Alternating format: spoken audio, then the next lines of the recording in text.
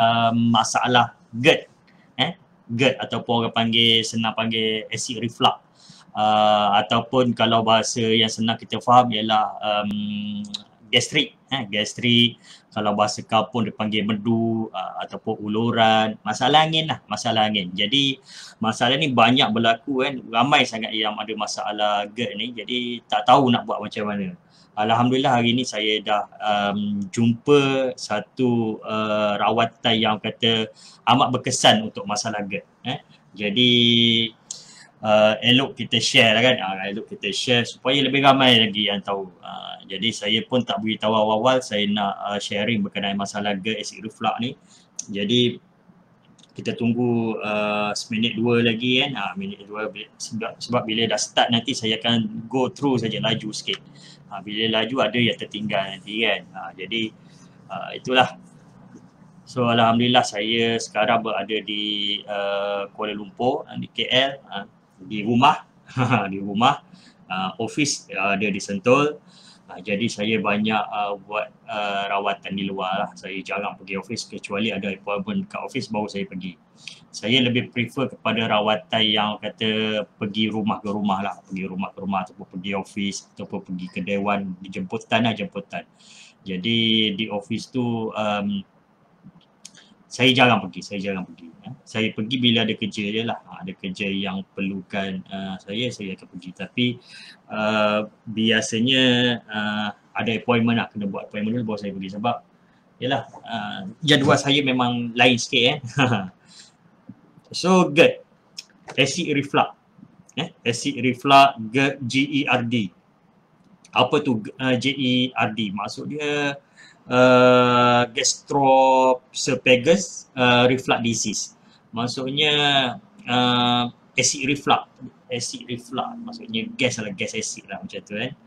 Uh, jadi acid reflux lah sebenarnya sebut sebagai acid reflux adalah um, asid di dalam perut kita ni, asid dalam perut kita, dalam perut kita ni dia akan melalui esophagus, uh, tekak melalui esophagus, kemudian dia akan pergi ke perut.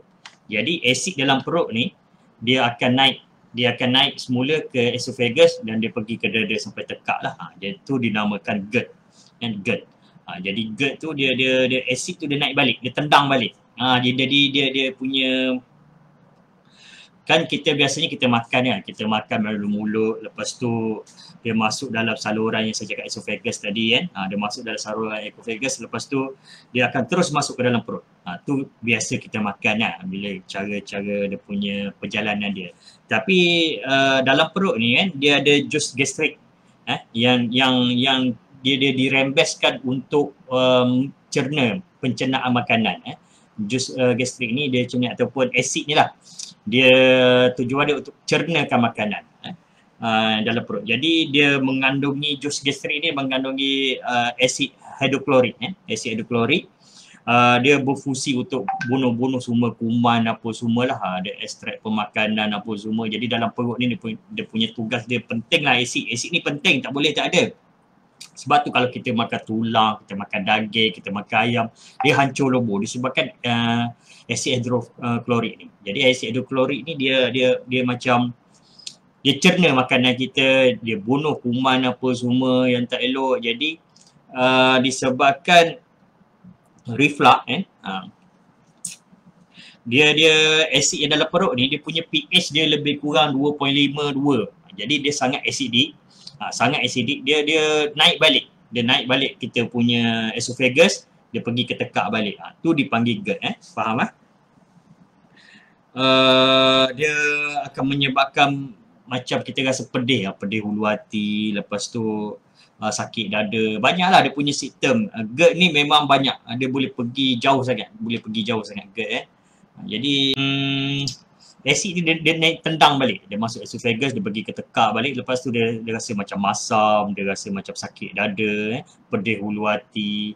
Uh, lepas tu macam-macam lah dia fikir kan. Ha, GERD ni penyakit yang agak pelik sikit. Okay. Jadi apa punca eh? Punca penyakit GERD ni dia biasanya berpunca daripada otot eh. Otot uh, uh, sphincter. Sphincter ni dia dia di bahagian bawah esophagus ni dia dia mengalami masalah kecut. Eh, dia kecut. Dia kalau kita tengok dari kalau ada gambar rajah eh, dia ada esophagus, uh, leher leher tekak, dia masuk ke sebelum masuk perut, perut besar kan. Uh, dia sebelum masuk tu dia ada kat situ, dia ada macam penutup. Ha, dia penutup ni dipanggilkan otot uh, sting, uh, sting, uh, otot apa ni? Sphincter, ha, sphincter, otot lah, penutup lah saya sebut, penutup. Jadi penutup ni dia kecut.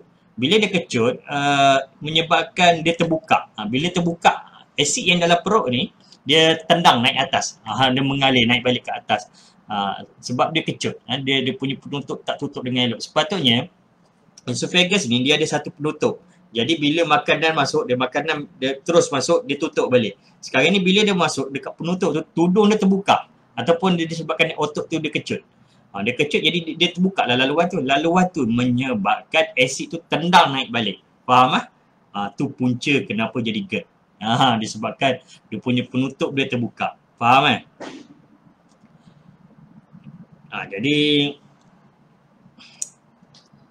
dia boleh bila asid tu dia naik uh, ke atas kan sebab perut ni dia special dia boleh um, dia boleh apa dia dia dia ada lapisan. Saya tak silap tujuh lapisan. Disebabkan asid tu dia naik ke kita punya esophagus. Ha, sebab asid tu dia punya pH dia sangat rendah.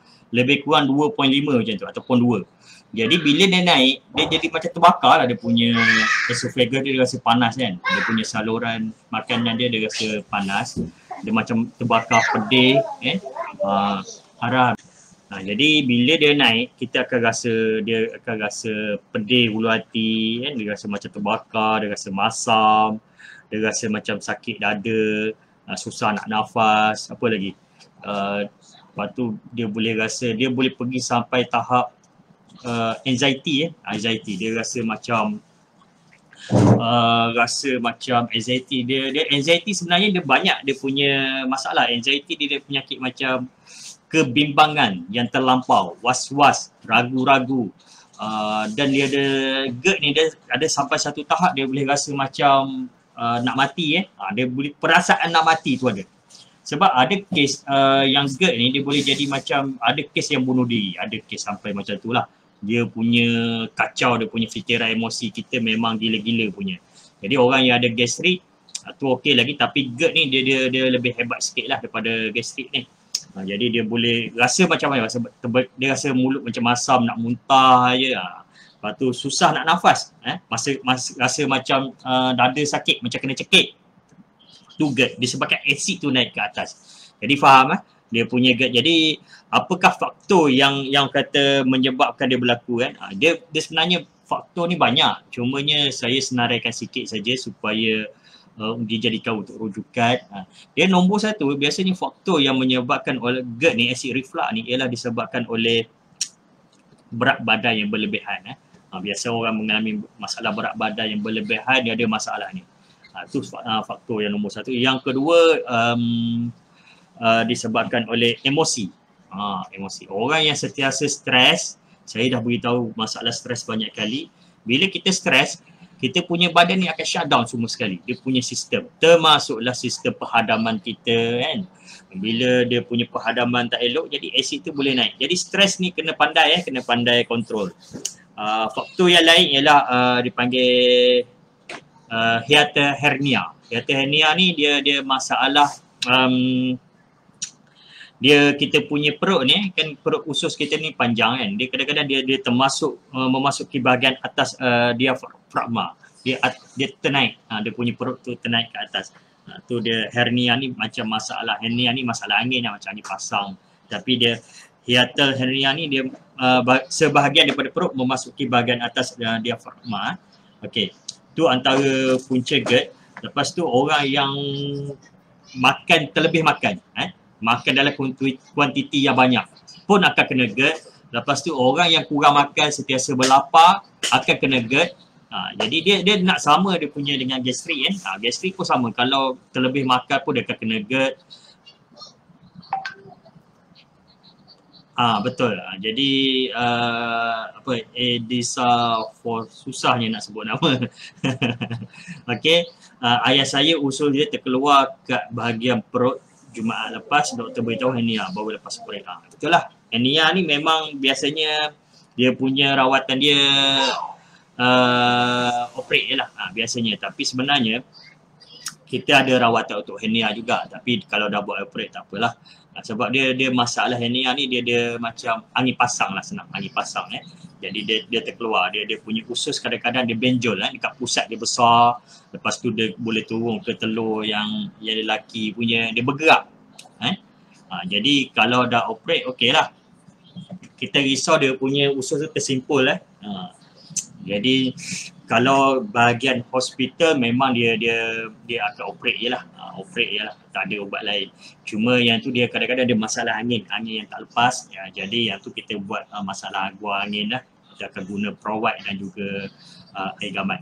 Jadi uh, okay uh, nanti eh, Disa Fusui ni uh, whatsapp saya lah. Whatsapp saya. Nanti whatsapp uh, kat page ni dia ada dia ada nombor saya punya phone. Uh, nanti whatsapp saya. Saya kita akan uh, beritahu lah macam mana cara nak buat. Sekarang ni saya nak fokus pada GERD eh. jadi kalau orang yang suka makan banyak eh, dia akan senang kena GERD juga. Termasuk orang yang uh, suka berlapar eh, tahan lapar makan sikit ataupun dia tak tak jaga makan. Biasanya orang tak jaga makan lah. Sepatutnya waktu makan pagi dia kena makan. Tapi dia tak makan. Bangun lambat Lepas tu tengah hari pun dia tak makan, petang pun makan. Dan dia benda tu menyebabkan asid dalam perut kita tu, uh, ialah bila pemakanan tak jaga, dia dia perlu bekerja, dia perlukan makanan untuk untuk dicerna tapi dia tak sampai tempoh dia kita tak jaga makan dia macam uh, meragam lah kan asid. Ha, jadi itu menyebabkan kita punya penutup jadi tu dia terbuka. Ha, bila terbuka dia naik ke atas. Sebab tu orang tak jaga makan, orang yang makan lebih, orang yang uh, ada masalah GERD eh? Ha, dia tak sama macam puasa puasa hebat. Ha, jadi uh, orang puasa dia tak kena gerd sebab dia sahur. Dia dah makan pagi kan? Dia jaga makan. Tapi kalau orang yang memang uh, memang diet yang berlebihan eh ada masalah juga. Uh, diet yang berlebihan over over diet jadi kalau orang yang selain itu orang yang mengambil makanan seperti makanan yang pedas-pedas kan, ha, senang kena GERD. Lepas tu minuman yang uh, banyak gas ni apa semua kan, ha, tu memang memang iyalah tu. Coklat, kopi, teh, eh, teh apa ni, banyak yang kafein lah, kafein. Ha, sebab yang kita minum, yang kita makan tu banyak acidic. Ketambah lagi asid dalam perut kita masalah. Sebab tu kita kena makan, kena balance sebab asid lawan dia alkaline. Alkaline pemakanan yang alkaline. So kita kena tahu apa uh, makanan yang alkaline. So banyak sebenarnya kan. Uh, kalau biasanya kalau yang alkaline ni senang kita nak tahu dia kadang-kadang dia tak semestinya masam tu dia asid. Ah, jangan silap faham. Tak semestinya masam tu asid. Kadang-kadang yang masam tu dia dia bila masuk dalam kita punya badan dia jadi alkaline. Eh? Contoh apa? Uh, contoh apa dia eh? Um, air kelapa eh? Air kelapa. Contoh uh, lemon eh? Kalau tak silap saya pun lemon dia bila dia masuk dalam badan dia tukar jadi uh, alkaline. Uh, macam buah-buahan uh, buah-buah kadang-kadang masam kan? Uh, buah masam tapi dia masuk dia akan jadi alkaline balik. Jadi kalau kalau yang alkaline kadang-kadang dia dia dia masuk dalam badan kita dia jadi asid contoh apa? Macam susu eh? Uh, kalau daging apa semua tu tak payah tak payah cerita lah kan. Susu, gula tu apa semua tu acidic. Jadi kebanyakan makanan ni banyak yang acidic eh. jadi kita kena balance balik. Jadi uh, yang yang saya beritahu dia yang alkaline tu dia dia macam buah. Buah-buah alkaline. Jadi uh, lepas tu macam uh, sayur. Ulam alkaline. Uh, air putih eh, dia bagi kita uh, kurangkan dia, dia punya acidic dia sikit kan uh, jadi kena kita tengok kena tengok balik pemakanan kita. Uh, supaya kita tak menambah. Orang yang kena GERD dia biasanya dia tahu dia makan uh, sesuatu dia akan kena. Dia makan ini dia akan kena. Jadi kalau benda tu uh, yang menyebabkan dia rasa pedih apa semua asid cepat naik iaitu dia kena elak lah. Jadi sekejap lagi saya cerita macam mana kita nak rawat GERD eh. Uh, sekarang ni saya cerita punca apa eh, eh apa uh, uh, faktor faktor yang menyebabkan uh, masalah ni. Jadi apakah sistem eh? Sistem uh, untuk acid reflux ni dia biasanya eh biasanya um, dia rawatan kata rawatan yang dia biasanya GERD ni dia dia biasanya kalau kita jaga makan dia boleh baik dengan sendiri. Dia tak ada kata rawatan yang special sebenarnya eh. kalau kita jaga makan kita kena elak apa yang kita patut makan. Uh, tapi biasanya dia ambil jangka masa yang sangat lama eh. Uh, jangka masa jangka lama cumanya kita kena tahu cara yang paling cepat kita untuk rawat GERD memang ada rawatan untuk GERD uh, yang sebelum ni saya memang kita ada testimoni beberapa testimoni untuk GERD. Tapi sekarang saya lebih yakin disebabkan saya dah dapat satu bahan ataupun satu ramuan yang agak special. Khas untuk uh, GERD khas untuk uh, masalah gastrik, khas untuk masalah medu, uluran apa semua yang berkaitan yang lebih kurang hampir sama ni. Jadi kita boleh bantu sebenarnya. Alhamdulillah lah. Sekejap lagi saya tunjuk dia punya botol apa semua kan. Jadi sistem yang yang kata yang berlaku jika masalah GERD biasanya dia akan rasa pedih kan? Ha, dia pedih ataupun sakit bahagian ulu hati ni tengah ni. Nampak tak? Dia sakit bahagian sini dia rasa pedih. Lepas tu uh, dia mengalami masalah untuk uh, telan makanan eh. nak menelan tu dia rasa susah betul nak menelan makanan eh. sebab dia asid tu dah tendang balik. Lepas tu perut dia rasa macam uh, sebu tahu tak? Rasa sebu rasa macam masuk angin rasa macam tak sedap je perut Ha, walaupun tak makan lagi, ha, walaupun tak makan apa semua, dia rasa macam sembuh sebab dia, dia asid tu mula bertindak balas. Kadang-kadang dia mengalami masalah batuk eh, batuk yang kata uh, berpanjangan eh, uh, terutama pada waktu malam eh, uh, ataupun waktu tengah tidur uh, tiba-tiba terjaga. Ha, ha, tu masalah tu. Jadi tekak ni rasa macam masam je eh. Tekak rasa masam macam rasa nak muntah, berair je mulut. Ha, kalau berair mulut tu biasalah macam air liur nak terkeluar eh. Itu biasa berlaku. Lepas tu dia sakit dada, rasa macam kena cekik. Yang cuma saya nak uh, nak beritahu lagi rasa yang lebih kata lebih teruk lepas tu ialah rasa macam sebab saya jumpa lima enam orang yang masalah dia, dia beritahu sistem yang sama. Dia dia sampai satu tahap dia rasa macam uh, macam fobia, dia rasa macam uh, anxiety, uh, anxiety eh. Dia rasa macam um, anxiety ni teruk, anxiety ni teruk uh, was-was, ragu, bimbang, eh jadi serba tak kena, rasa nak marah kadang-kadang lepas tu dia ada satu tahap, dia ada satu keadaan dia rasa macam dia cakap rasa macam nak mati. Uh, saya tak tahu rasa nak, nak mati macam mana sebab saya tak pernah kena GERD tapi kalau orang, orang tanya orang yang masalah GERD dia rasa macam rasa nak mati. Macam nafas tu macam tak cukup ya kan. Uh, tu. GERD itu masalah GERD. Uh, jadi uh, sebab tu ada kes uh, saya ada dengar juga beberapa cerita kes sampai tahap bunuh diri GERD ha, teruk GERD jangan buat main-main jadi Alhamdulillah lah uh, hari ni kita ada penawar kata penawar yang uh, agak berkesan untuk masalah GERD ni kan Uh, jadi GERD ni sebenarnya dia boleh berlaku juga kepada kanak-kanak sebenarnya. Uh, kanak-kanak dia boleh berlaku. Jadi kalau kalau baby tu biasa dia menangis kan. Lepas tu uh, tak selesa merengek, kurang menyusu, uh, batuk. Kadang-kadang dia lepas minum susu badan dia meleding eh, membekuk ke belakang. Dia meleding. Dia apa kau? Dia panggil melekung ke belakang lah selepas menyusu tu. Kadang-kadang dia GERD tapi dia tak boleh nak beritahu. So baby pun mudah kena lah. Jadi apa lagi nak beritahu eh. okay. Uh, rawatan eh. Uh, rawatan untuk masalah GERD ni ialah um, dia nombor satu eh. Ha, nombor satu dia perlu uh, ubah. Ubah gaya hidup. Nombor satu kena ubah gaya hidup. Ha, gaya hidup tu maksudnya kalau punca dia disebabkan berat badan, tu boleh ubah. Ha, berat badan boleh ubah. Ha, jadi kena kena carilah.